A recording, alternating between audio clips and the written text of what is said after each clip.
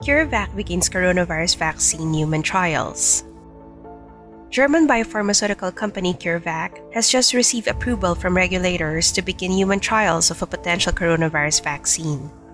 This comes just days after Chancellor Angela Merkel's government invested in the company.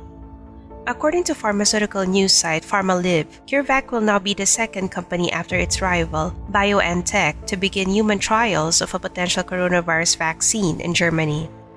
They plan to receive approval by mid 2021.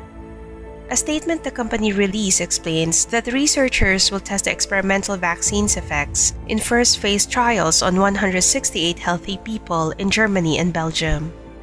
144 of the participants will be receiving different dosages of the experimental vaccine, while the rest will be given a placebo.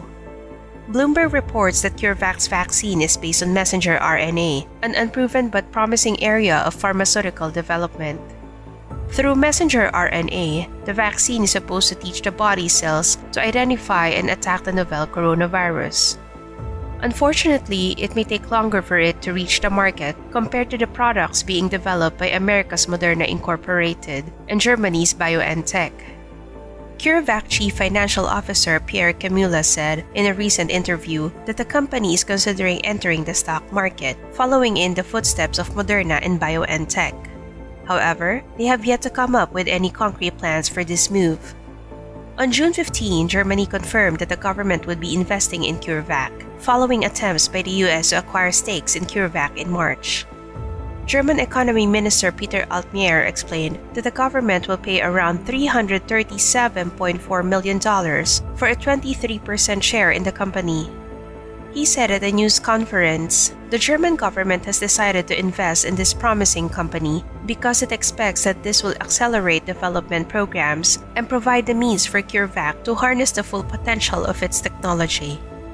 Altmaier also said that the government hopes to strengthen the life sciences and biotech in Germany, but they will not have any say in the company's business strategy. The federal government has been rejecting foreign takeover bids for healthcare companies like CureVac and BioNTech by using special powers they gave themselves in May. This is their way of safeguarding their ownership of the two coronavirus vaccine developers and sending a clear signal for CureVac here in Germany as a place to do business.